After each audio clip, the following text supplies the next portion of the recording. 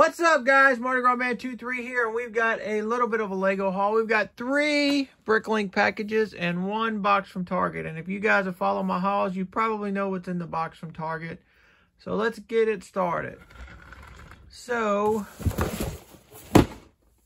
let's do the Bricklink packages first, because these are all parts for my two projects. One of them is a train shed, which I'm really getting close to.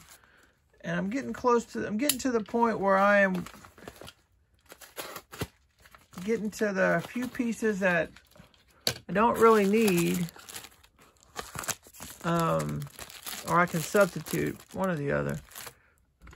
So this is just some train wheels, and this is when it gets bad. You get down to the end of the project, and you need a handful of pieces, but there's not a store that has multiple parts. So the pieces aren't that expensive, but then you end up paying three and four dollars shipping for every order. So this order is only the train wheel, train wheels. Uh, this one part here is for the train shed, and then that I think is for the train. So we got that. So that's one order. That is from a store called Well Played. So then we got this one. This one is from Bulk Bricks. And let's see what's in here. I've had these, these have come in over the course of the last week. So I'm just finally getting around to it. So you can see there, there's my order, Earl Roy. So this is going to be some more torsos. Because that's, this is only, this is all that I needed from this store. Was this red ladder and these two green pieces. These are for the train shed. This is for the train, which is 7810. And again, you go to the store. I needed this piece.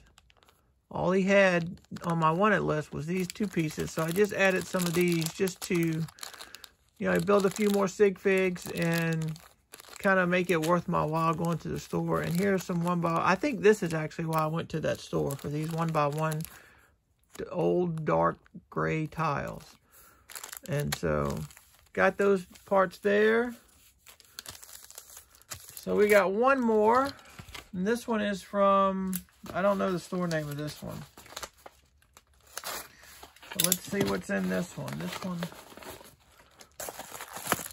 And it's, there wasn't even any figs, uh, See, like this. This is a Blacktron fig, which I'll add him to the... Is this Blacktron or Mtron? Let's see. This is the Mtron fig. He's in pretty good shape. So we'll add him to the astronaut or spaceman collection that I have behind me back there. The only one I need to get, which I'm not going to... Oh, that piece came off rather easy. The only one that I need to get, which I'm not going to spend a lot of money on, because I figure it'll be around for a while, and eventually I'll be able to get one, is the orange guy. I don't want to pay 30-something dollars for that book. So there's the Mtron fig. So the Mtron fig is going to go back here by the Blacktron fig, if I can get his get him to cooperate. So there, we got the Blacktron, the Mtron, got the uh, gray spaceman that I built. And then back here, we've got all the colors except the orange one. I think that's all the colors. So here's my little invoice. And here's the parts I needed. So I was realized that I I didn't have two glass two glasses for two of the windows. So I had to go get that. There's one lone dark gray tile. And then here is the piece, the train shed piece. And I didn't realize this until someone told me in the comments. I was going to substitute this piece with this piece.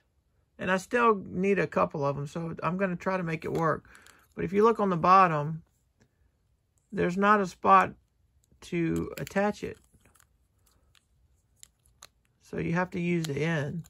So we'll see if we can get it to work. I mean, it's basically the same piece. This is the old style. This is the new style.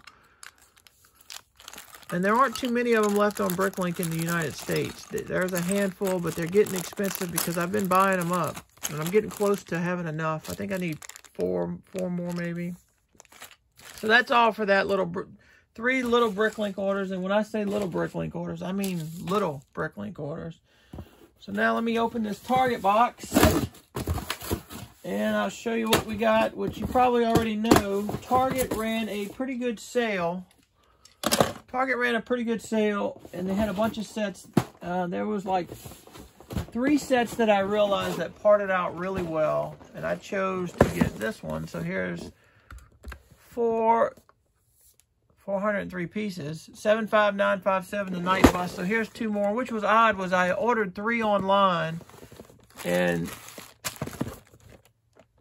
and they sent one from somewhere, and then the other two came from somewhere else. So the I got the first one oh, probably about three or four days, maybe a week ahead of these two, which is odd. I've, I've never had that happen at Target where it gets shipped from two different destinations.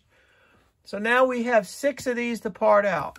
So I've got a question for you guys. I'm going to go part them out, but I want to know, would you keep one of these sealed as kind of an investment. I'm not going to, and I'm going to tell you why I'm not. Because this part's out for 80 just over $80. I paid $23 for it. I think the original retail is $39.99. So I'm going to part it out. That's four times part out value.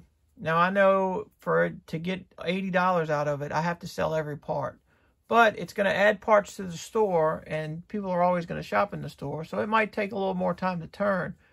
But in the, otherwise it would just be sitting in a closet trying not to get damaged or i don't have a closet to put it in so it would be sitting in a stack trying not to get damaged and i'd have to wait till it retires which it doesn't look like it's going to retire next year. Then i would have to wait another year or so before i could probably get 50 or 60 dollars for it. And that is not yeah that's if i paid 23 and i could sell it for 60 that's really good but you have to sit on it for two to three years at least. So i am going to part them all out. So tell me would you guys part them all out or would you save one? Just letting you know i'm not saving one but i want to know what you would do. So leave me some comments below. You got any projects you're working on? Did you pick up any good deals? I think this was actually Cyber Monday. I don't remember if this was Black Friday or Cyber Monday, but actually Target ran Cyber Monday all week. So I know it was the week after Black Friday. There was this one, the Quidditch match, which and there was a Star Wars set that actually parted out at $80 too. That was $23.99. They had a lot of good deals on that Target. I should have took advantage of a couple more, but I didn't. So we're going to part these out. And that's all for this one. This one's been a little long-winded three little Bricklink packages, working on a couple projects. What are you guys working on? Two more Harry Potter sets, so that gives me six to part out. Would you save one of these or would you part them all out?